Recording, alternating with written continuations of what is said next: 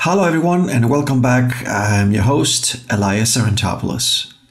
Adobe InDesign's multi-state objects are among the most powerful interactive features and the foundation of engaging interactivity in digital publications. So in this Adobe InDesign CC tutorial and with the use of a multi-state object, you will learn how to create an interactive pop-up video frame for a fixed layout EPUB to engage your readers and elevate the user experience. We will create two object states, add actions to buttons, use the object export options to see how given graphics can be exported, and finally move to an iPad to test the fixed layout EPUB's interactivity. All that with Adobe InDesign CC. So inside InDesign CC and before we dive into our project, a couple of things I would like to mention. First, we're going to add certain window panels into our workspace. So for that, go to the window menu, interactive, and bring up the buttons and forms. Go ahead and drag this into the dock.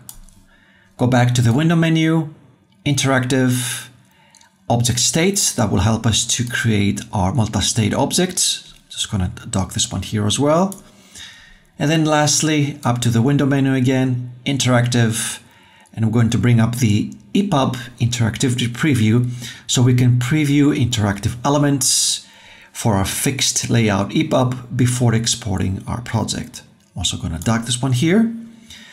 And second, uh, I'm providing the exercise files for you to download at the bottom of the video description if you wish to follow along with this InDesign CC interactive tutorial. So now let's go ahead and uh, set up our document by converting this icon right here into a button as well as placing a video inside a spread. Okay, so open up the layers panel here and here's the video icon. It's selected, so I'm going to click on the button forms and we're going to convert this into a button. So at the very bottom, click on this icon that says convert to button. It's going to give us a generic name. So go ahead and change that. Let's say video BTN, like so. And now let's go ahead and place the video inside a spread. So for that, go up to the file menu, place. Here's the video that I'm providing for you inside the exercise folder. And all you have to do is just click once, it's going to be placed right inside the side the spread. Now I need to uh, center this horizontally and vertically. So marquee select, make sure up in the options panel here, this is going to align to spread. And we're going to align this horizontally and vertically. All right.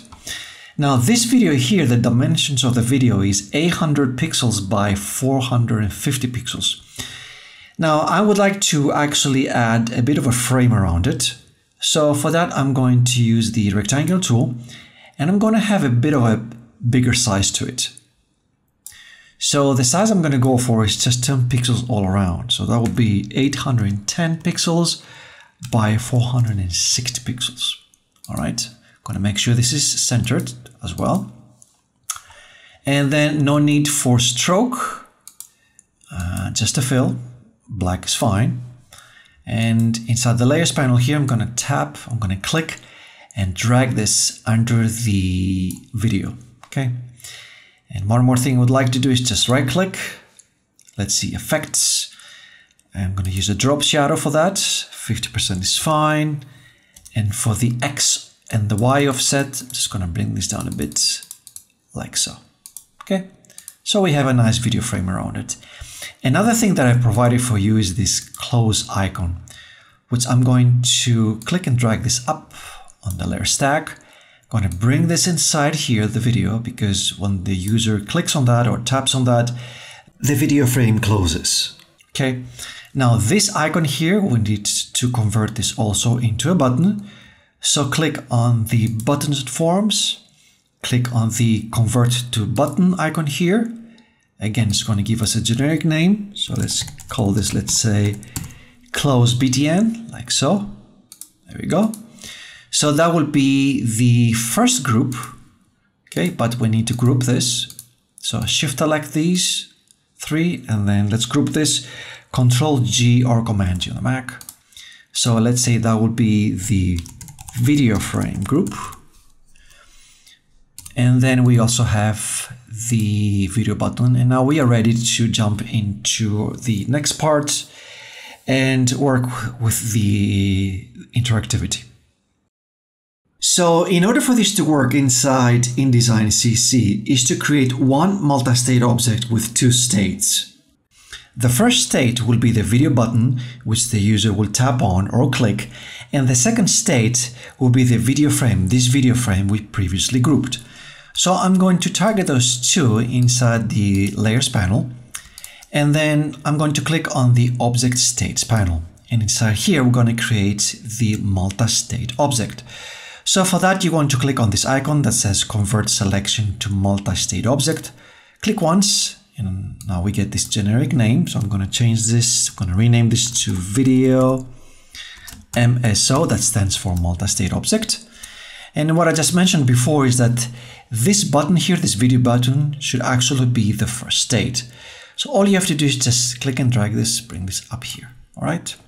Now, instead of state 2, I'm going to click once to rename this to, let's say, video BTN. And this is mostly for your reference, okay? And now I have these two states, this one and the video frame. So I'm on this state here, and then I need to target the button that resides inside this video state. So I'm going to do this by going to the layers panel. I'm going to open up the video MSO and I'm going to drill in till I find this video BTN. So target this and then click on the buttons and forms. And just a quick tip here, if you want to have a rollover color, you can just click on that and then just change this color to a color of your choice, like so. And on click, I'm going to have the same color. All right, now for action, click on the plus icon and then for action, it will be go to state. Well, which state? Well, right now we have the first state is this video BTN and the second state is the video frame. So that's what you want to target. All right. Now let's do something similar. Let's give another action to this uh, video close uh, frame. So for that, I'm going to target the MSO. So tap on, click on this object state, click on the second state, and I'm going to target this close button. So again, inside the layers panel, drill in till you find this close BTN. Here it is. Click on the button that forms. And for action, go for go to state. And by default, it goes to the first state, which is the video uh, BTN, which is correct. Now let's go ahead and test our work inside InDesign CC using the EPUB Interactivity Preview panel for our fixed layout EPUB. So click on the window. I can just actually dock this out and size this up a bit. And with the set preview spread mode, go ahead and click on the play preview button. Here's a spread. Here's the uh, video button, which when we roll over, it changes color.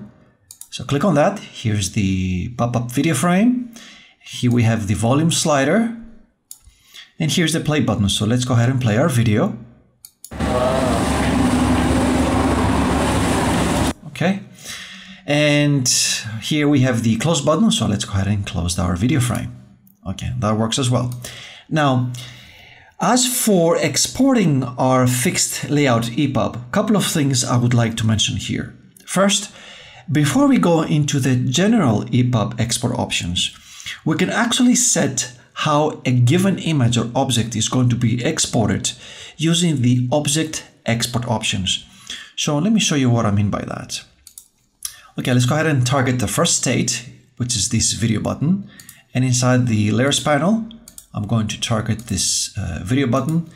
And then under the object menu, go ahead and choose the object export options and from the preserve appearance from layout, go ahead and choose the rasterized content. And for format, go ahead and choose PNG and click done. I will do the same thing for the second state. So I'll just go ahead and go ahead, choose this video frame state. Again, inside the uh, layers panel, I'm going to target this close button, go up to the object menu, object export options, instead of default, choose the rasterize content option, and for format PNG and click done. Okay. And now let's go ahead and go to export the whole fixed layout EPUB as an EPUB. So for save type, go ahead and choose EPUB, click to save. And for conversion settings, format automatic is fine and resolution actually 150 is a good setting for all different devices, especially if you want the user to zoom into your photos. And for under the JPEG options, image quality, high is fine as well, and just click OK. And so inside the iPad, I have imported this fixed layout EPUB file into the books. So let's see how this responds. Go ahead and tap on this uh, video button here. Here's our video frame. We can actually enlarge this. So tap on the top left icon here Here's the video frame expanded. And now on the top right corner, we have the volume slider, like so. And let's go ahead and play the video.